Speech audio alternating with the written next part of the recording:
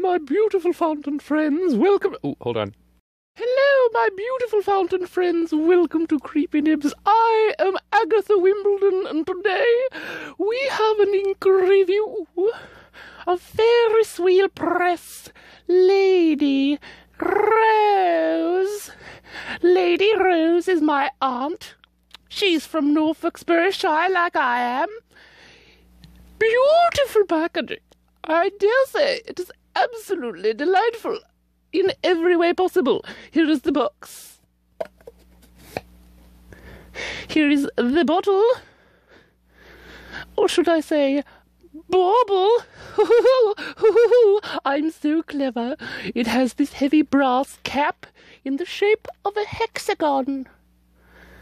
Small opening. But it is fine. It should fit most pens quite nicely. Maybe not a Pelikan. I don't know. I don't have one. It also comes in this delightful little pouch. Isn't it lovely? It's a beautiful shade of pink with beautiful, beautiful gold embroidery. I can't tell if the, I don't know. I believe so. Maybe it is. Maybe it is just simple foil print. Regardless, lovely. I love it. It is fantastic.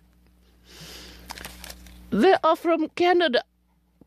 So, there are French words upon the packaging that say thé à la rose, which means rose tea, which is not Lady Rose. I don't know what's going on there. Oh, and on the bottom, I don't think I've ever seen anybody show the bottom. You can't have a top without a bottom. Ho ho, ho ho, ho ho. There we go. Behold, it's the whimsical sights, sounds, and nostalgia of the carnival dance with the rat-tat-tat of a traditional print shop. Cute! Absolutely lovely. They have a new collection en route to my home, and I am excited for it. Here we go. Let us start by zooming. Here we go. Here we go. Okay. Here is the coloring swatch of Ferris Wheel Press Lady Rose. Oh dear. There we go, Lady Rose.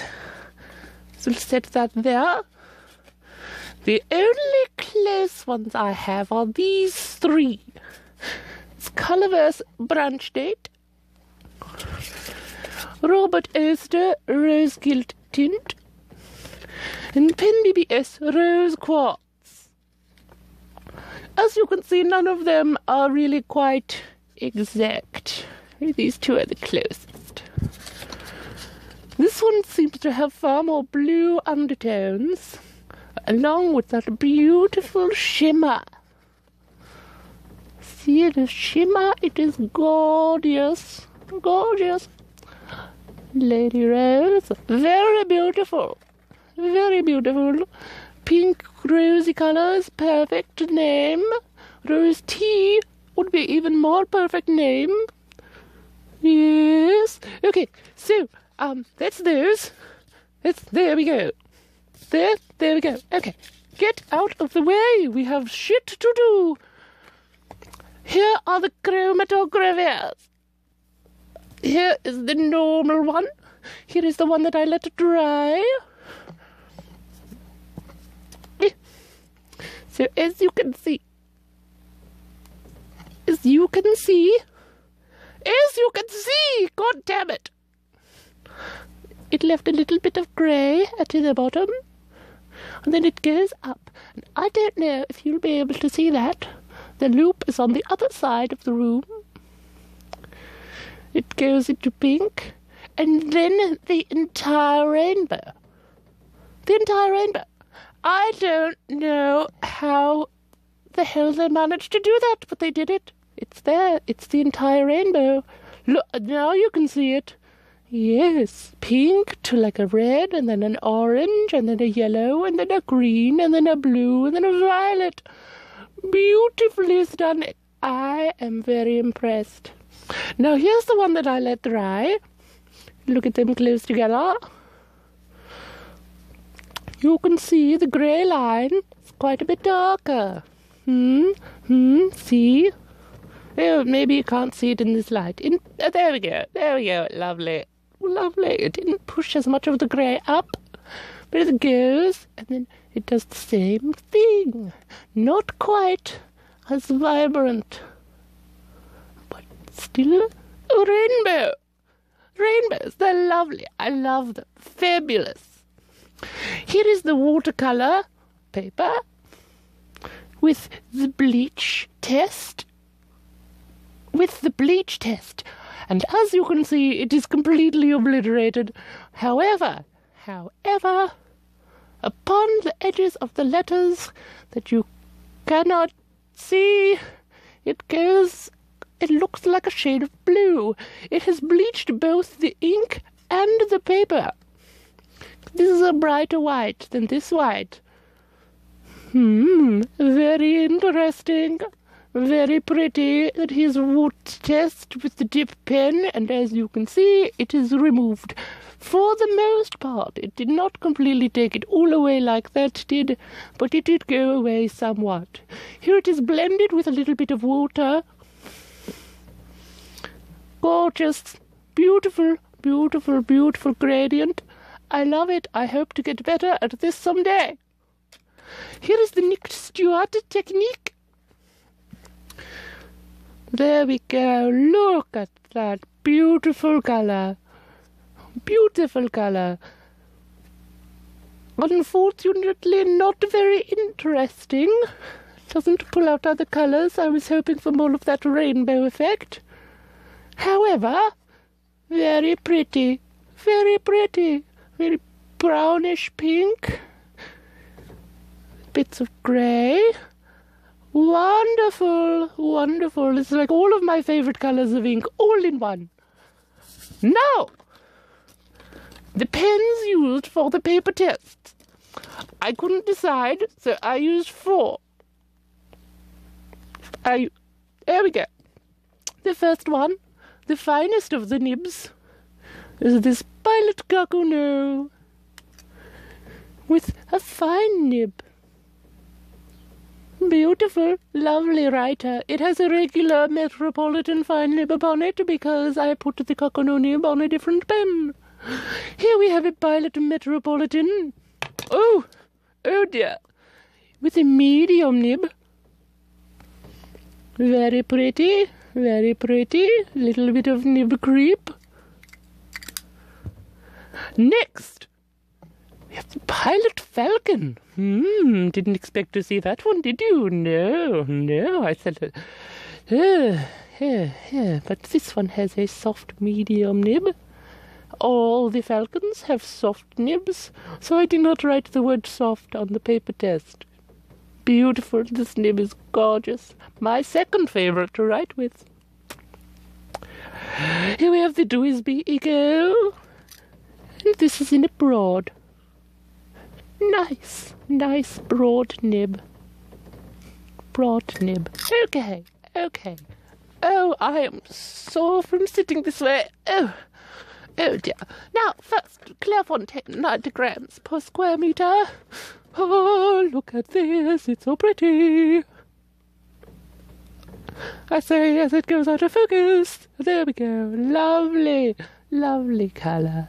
Lovely colour. Especially in that fine nib. Oh, I was expecting it to be too light to show up nicely, but it does absolute wonders. Beautiful beautiful. Sometimes these kind of light pinky colors will do very poorly in fine nib and will be completely unreadable, but this one is not. There we go, that's better. The Pilot Metropolitan. Pilot Metropolitan. Very nice too. Lovely shading. Oh, and the Pilot Falcon. Oh my goodness gracious me, oh my, that is absolutely delightful. Look at that. Look at that. Absolutely marvelous. Absolutely marvelous. I dripped some upon the page, and now there is a dot of it. Now for the dry times, which were actually pretty nice, relatively normal. It took 6 seconds to dry in the fine nib, 18 in the medium, 23 in the soft medium, and 11 in the broad.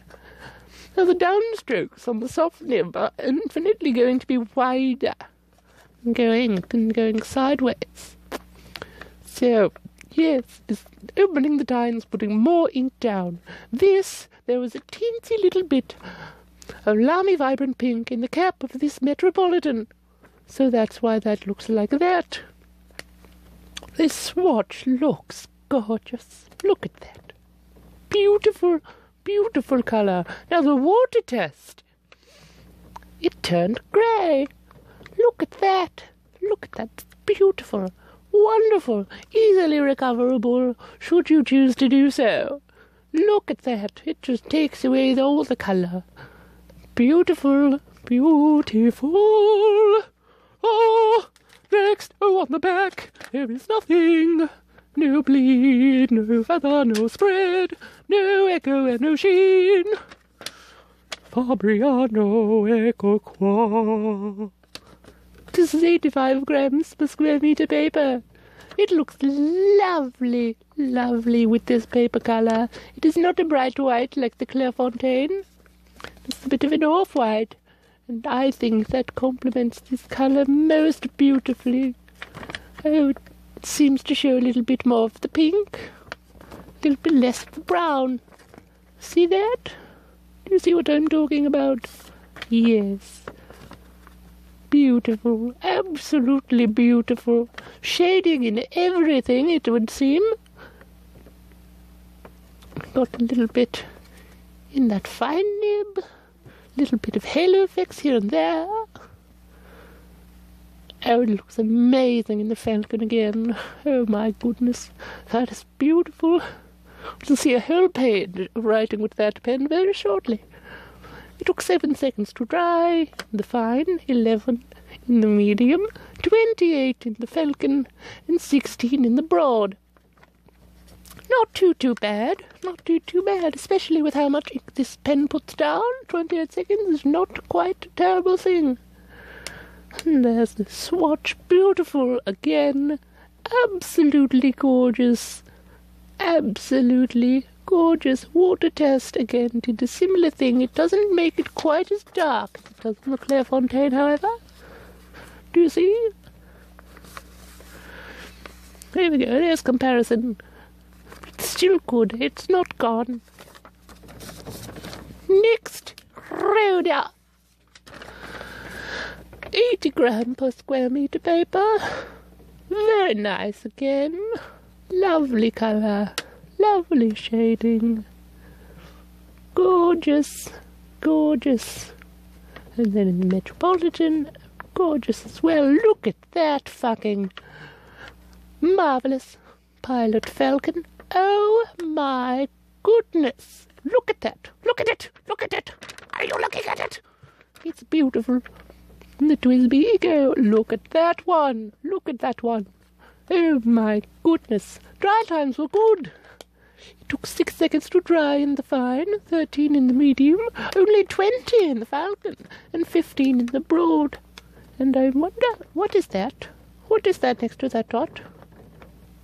Okay, I was I thought there might have been a bit of feathering that I did not notice before, but it is not. There's the swatch. Very lovely colour.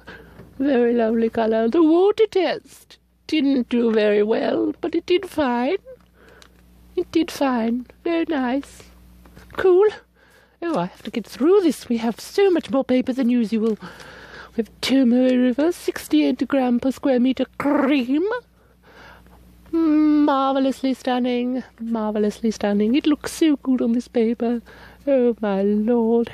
Brings out the grey without removing all the colour.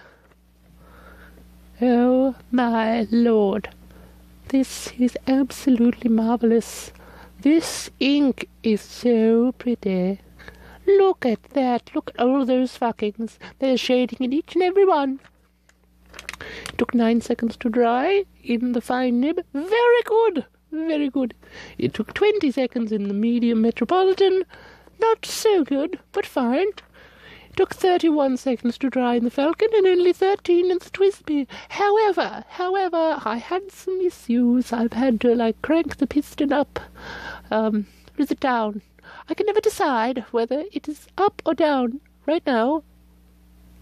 So tell me what you think. I'm sure there is an exact way to say it, but I do not care. Um, but it did not did not flow as wet as it normally does, but it flowed very wet out of these, so I don't know. I don't know. I don't know. On the back. Oh, wait, let's get to the swatch because that is pretty. Look at that. It's so pretty. Oh, it's just more grey than it is anywhere else, and it's almost kind of purple. My, my, marvellous. The water test did incredibly well. It did better than it did on the previous two papers. Look at that. Look at that. You could tell. It's very obvious. Wait, that's the Clairefontaine. That one did really good. There's the Fabriano. See? See? I would never expect a water test to do better on a river paper than on Rhodia. Look at that. You could totally read that very easily. No dyeing of the page, no dying of the words. It's all beautiful. And on the back there is no echo. It's relatively light ink. We get a little bit of almost bleed in the swatch, but that usually happens.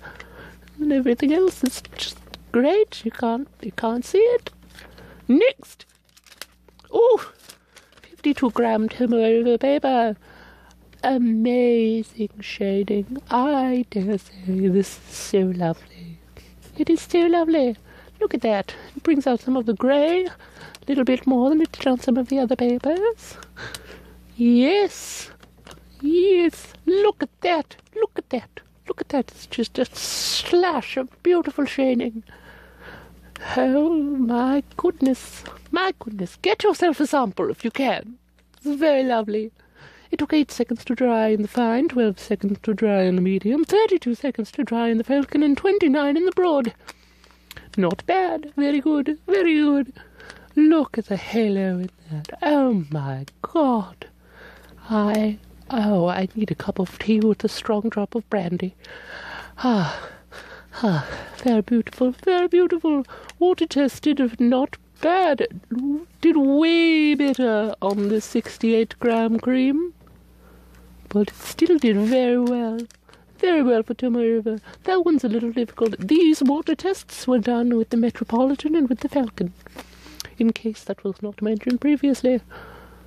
There we go, but there we go. You see, it is all grey. And now, on the back, I didn't notice any ghosting see, I put a little bit of pressure down when I wrote with the falcon so I can get a little bit of extra line and variation. So there's a little bit of a ridge there from that.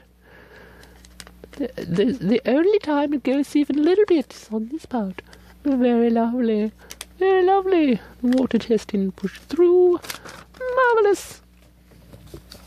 HP Premium 32 pound laser jet. This paper is an abomination against God and uh, I didn't hate writing on it this time.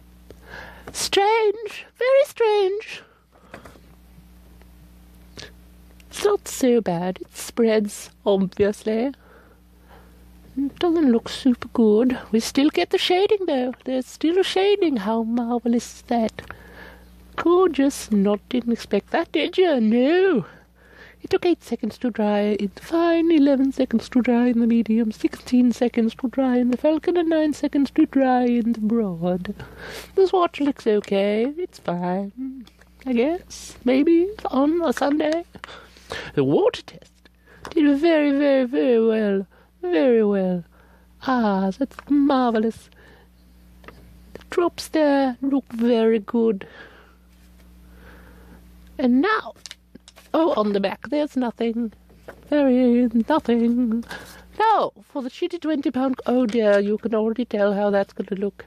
This is disgusting. I hate looking at this. I hate writing with this. I hate doing this to my pens. I audibly apologize to the Pilot Falcon for putting it on this disgusting paper. Ooh, ooh, I hate it. I hate it. There's feathering everywhere. There is spread even more. There's bleed all over the place. Look at all the bleed. There's so much bleed. Oh my goodness gracious. It's terrible and I hate it. It took one second to dry in the fine, two seconds to dry in the medium, three seconds to dry in the falcon, and two seconds to dry in the broad. That swatch looks horrific. Water completely fucked up the paper. Very bad. It usually does that. Uh, God, that's horrible. Horrible! I hate it. I hate it. I hate it. Go away. I wish I could throw this in the garbage, but I need to keep it in case I need to reference it. Now,